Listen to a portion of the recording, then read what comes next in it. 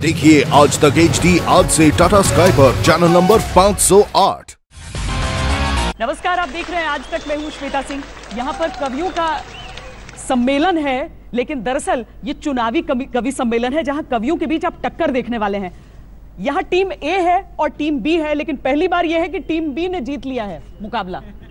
तालियाँ! मुकाबला शुरू होने से पहले टीम ए है नरेंद्र मोदी की प्रधानमंत्री नरेंद्र मोदी की टीम। टीम बी है राहुल गांधी की। और श्याम रंगीला भी यहाँ पर मौजूद हैं, जो कि दोनों रंग, राहुल गांधी के भी और नरेंद्र मोदी के भी हमें दिखाएँगे। अब देखिए, यहाँ पर तीन तीन का टक्कर होना था, एक तरफ़ कोरम पूरा नहीं हुआ है, लेकिन दो ही सब पर भारी पड़ेंगे, ये आश्वासन दे रहे हैं। टीम बी की तरफ़ से, जो वेद प्रकाश, वेद और फारूक सरल जी हैं, वो क्या करते हैं, और इधर नाम तो राहुल है, लेकिन मोदी की टीम में है डॉक्टर राहुल अवस्थी, शंभू शिखर, और उनके साथ आपको बता दें कि कुलदीप अंगार जी भी हमारे साथ रहेंगे। तो सबसे पहले शुरुआत हम करवाते हैं विजेता टीम से। लेकिन कवि सम्मेलन में जीत किसकी होगी वो देखेंगे। वेद प्रकाश वेद जी। संसद का शीतकालीन सत्र शुरू हुआ। चुनाव के रिज़ल्ट भी आए तो मोदी जी ने दोनों मामलों में एक ही बात कही। आज सिर्फ़ श्रद्धांजलि देने का दिन है। वैसे बात उन्होंने अटल जी के लिए कही थी। पर डैश डैश डैश बाकी भी आप समझ गए होंगे। विचित्र बात यह है कि शीतकालीन सत्र में भाजपाई पहली बार ऐसा होगा कि भाजपाई तो इसमें सर्दी से सिकुड़ेंगे और कांग्रेस ही बसंत का मज़ा लेंगे। ऐसा सत्र आपने नहीं देखा होगा। ये जीत में उनके नाम करता हूँ, कुछ सुनिएगा, जिन्होंने मेहनत की और किस तरह की मेहनत की। दर्द बेसहारों का क्या कहें, उन विचारों का क्या कहें ऐसी कड़कती ठंड में बीवी को छोड़कर ईवीएम के साथ सोए तकदीर के मारों का क्या कहें? और दूसरी बात यह कि भाजपा इसे हार नहीं मानती क्योंकि एग्जिट पोल आते ही योगी जी ने उसी दिन हार का नाम बदलकर जीत रख दिया था। बहुत अच्छे देखिए कांग्रेस का नाम बदल के बीजेपी ना हो जाए। और अंत में दो पंक्तियाँ और सुनाता हूँ। वहारे मध्य प्रदेश दिया क्या खूब जनादेश जब नेताओं ने हर चुनाव में राम को रामू बना दिया। अब देखो जनता का जलवा अच्छे खासे मामा को मामू बना दिया। बहुत बहुत धन्यवाद आपका बहुत बहुत आपका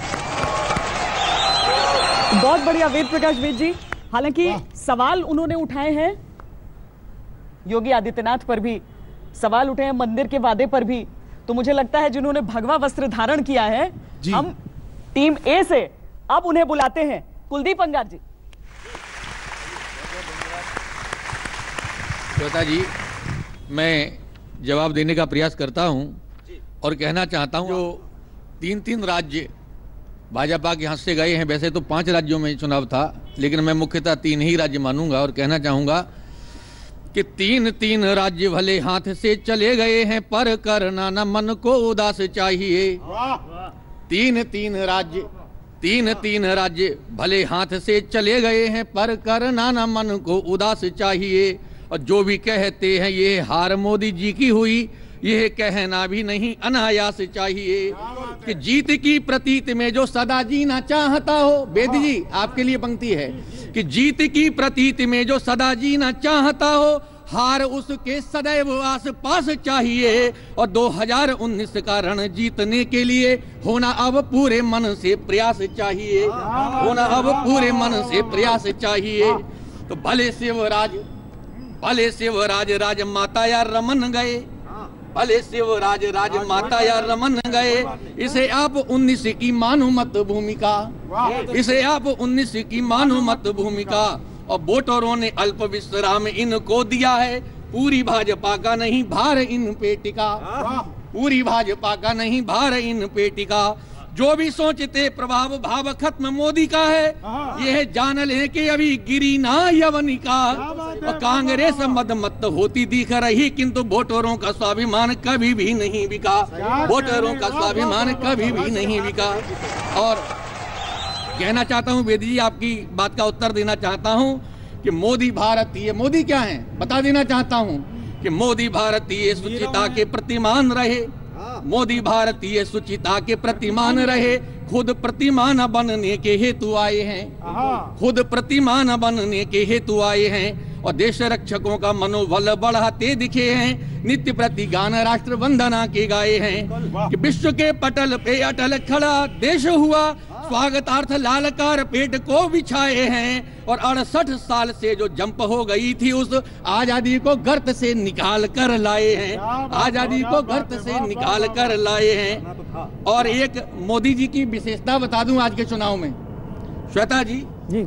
बिल्कुल नया भूमिका देता हूँ एक नई भावभूमि दे रहा हूँ कि मोदी जी की महिमा निराली दिखती है हमें। मोदी जी की महिमा निराली दिखती है हमें। राहुल पे रंग शिव भक्ति का चढ़ा दिया। राहुल पे रंग शिव भक्ति का चढ़ा दिया। और गांधी परिवार ने न जिसे पहना था कभी उपवीत वो भी पहना भी तगड़ा दिया। जनेऊ उपवीत पहना वो इन्हें तगड़ा दिया कि मंदिरों की घंटियाँ भी सकते में आज तक हमको बजाया हाथ किसने बढ़ा दिया। और मोदी मोदी मोदी आज रटने लगे हैं सभी। मोदी जी ने यह परिणाम तो बढ़ा दिया। मोदी जी ने यह परिणाम तो बढ़ा दिया। एक बात का जवाब देना चाहता हूँ आपने कहा कि राहुल को मंदिर जाना सिखा दिया। दो लाइनें कहता हूँ कि मोदी जी आपका क्या कहना? पेट्रोल के दाम इतने बढ़ाए डॉलर इतना बढ़ाया कि मनमोहन जी को बोलना आ गए और आपको चुप रहना। अच्छा श्याम रंगीला से हम कहेंगे कि आप यहाँ पर आकर अगर अपने विजयी नेता यानी राहुल गांधी जो बड़े लंबे अरसे के बाद इतने सारी जीत का श्रेय उन्हें मिल रहा है उनकी पार्टी द्वारा उनके अंदाज में जरा कुछ बताएँ देखिए भैया पार होगी नैया अब आपको मानना पड़ेगा कि मैं ही हूँ महागठबंधन का असली खिवैया अब हम मनाएँगे मिलकर जश्न। और मोदी जी करेंगे। हाय हाय दैया जय शिव शंकर जय गो मैया। अरे इतना छोटा भाषण। बाकी का लिख के लाया हूँ मैं। हाँ सुनाइए। बहुत अच्छे। भाई क्या बात है साहब भाई बहुत अच्छे। चौकीदार को अब उसके पद से हटाएँगे। चौकीदार को अब उसके पद से हटाएँगे। गब्बर सिंह टैक्स से जनता को निजात दिलाएँगे। अभी तो जीते हैं मध्य प्रदेश राजस्थान और छत्तीसगढ़। 2019 में देखो भैया हम ही सरकार बनाएँगे। सुनिए पिछत्तीस लाख युवाओं को रोज़गार दिलाएँगे। छत्तीस पिछत्तीस लाख युवाओं को रोज़गार दिलाएँगे। आलू के दाम किसानों को सोने से दिलाएँगे। फिर कहता हूँ जय जय शिव शंकर। कांटा लगे ना कंकर। बहुत अच्छे बहुत बहुत धन्यवाद। बहुत अच्छे वाह। राहुल गांधी भी कविता में जवाब दे रहे हैं। तो अब शंभू शेखर जी आपकी बारी आती अपने कांग्रेसी मित्रों को बहुत बहुत बधाई देता हूँ। और भारतीय जनता पार्टी जिस तरीके से धराशाही हुई है मैं समर्थन में होते हुए विरोध की बातें करूँगा।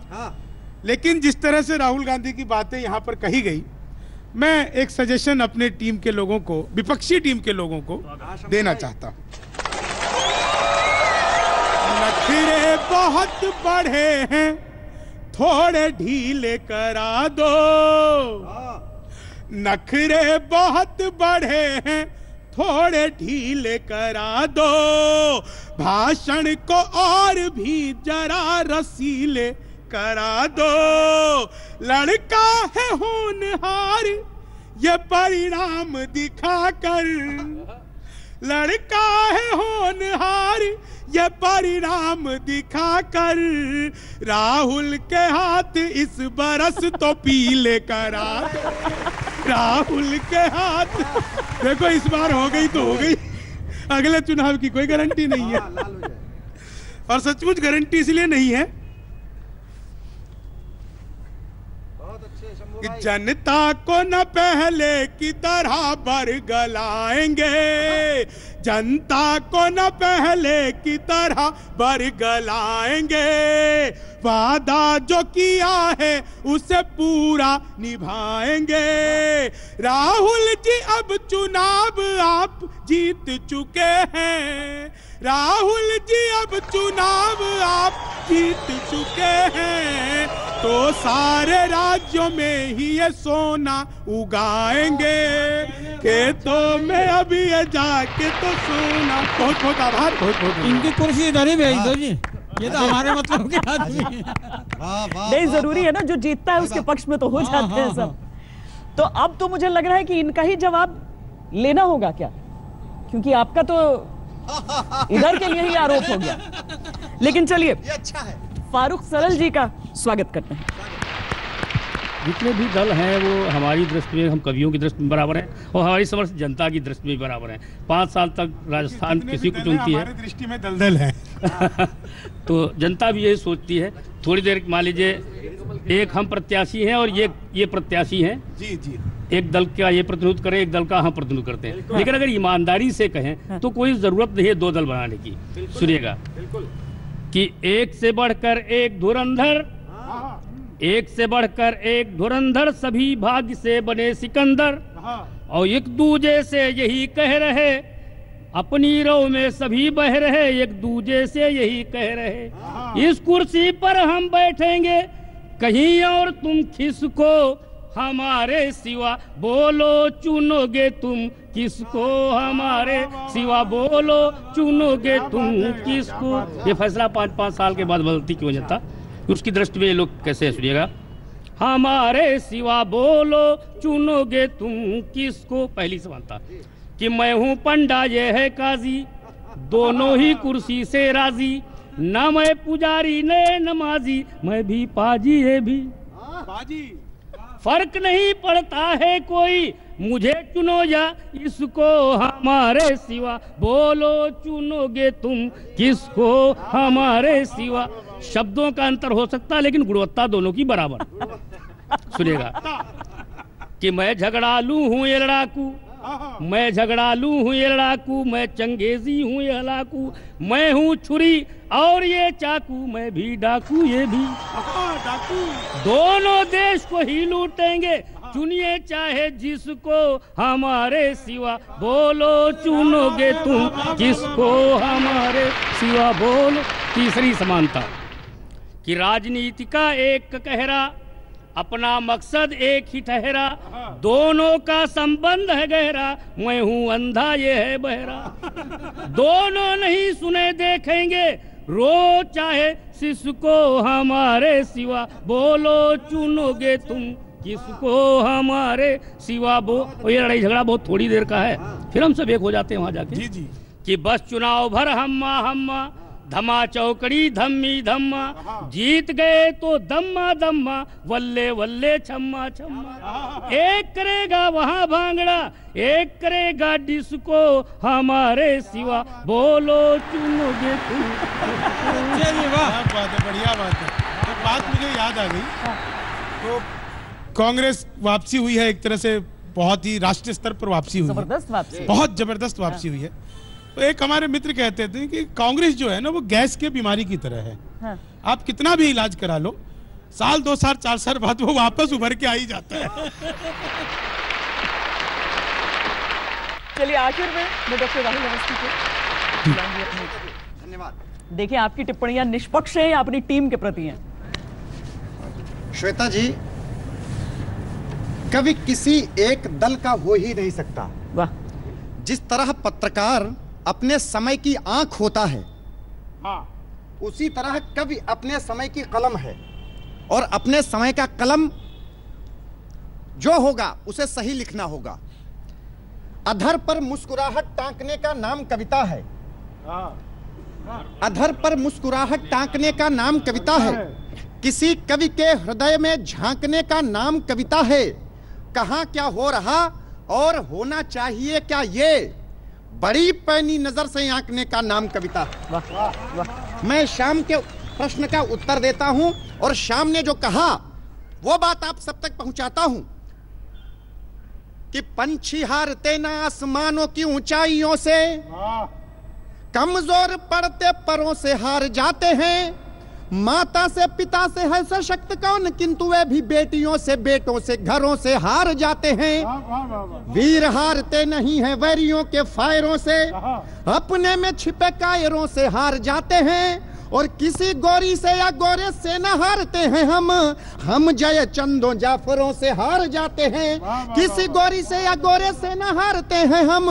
हम जय चंदो जाफरों से हार जाते हैं। आपको हम एक एक सीख दे करके जाते हैं और आप लोगों ने जो अपनी बात कही है हम आपको बधाई भी देते हैं राज तिलक की भी बधाई देते हैं लेकिन एक बात कह करके जाना चाहते हैं कि अगर हक की तमन्ना है तो जिम्मेदारियाँ भी हों सफ़र आसान करने के लिए दुश्वारियाँ भी हों सफ़र आसान करने के लिए दुश्वारियाँ भी हों और तरक्की के नए ख्वाबों की सूरत खुशनुमा है पर तरक्की के लिए बातें नहीं तैयारियाँ भी हों। बहुत अच्छे बहुत बहुत वाह बहुत बहुत बहुत धन्यवाद। असल में चुनावों में ही वो मुकाबला होता है जिन्हें सेमीफाइनल कहा जाए। आप सेमीफाइनल हार भी जाए तब भी आप फाइनल खेलने के लिए क्वालिफाई कर जाते हैं। जी। धन्यवाद आपकी शुभकामनाओं तो 2019 का सेमीफाइनल इन चुनावों को कहा गया। 2019 वो फाइनल है। उससे पहले ये चुनावी कवि सम्मेलन जो कि कवियों के बीच एक टक्कर थी अभी के लिए इतना ही। बहुत बहुत धन्यवाद आप सबका। बहुत धन्यवाद। देश और दुनिया की बाकी खबरों के लिए आप देखते रहिए आज। लेटेस्ट खबरों के लिए यूँ ही देखते रहिए आज तक। और इस वीडियो के पसंद आने पर लाइक शेयर एंड सब्सक्राइब करना ना भूलें।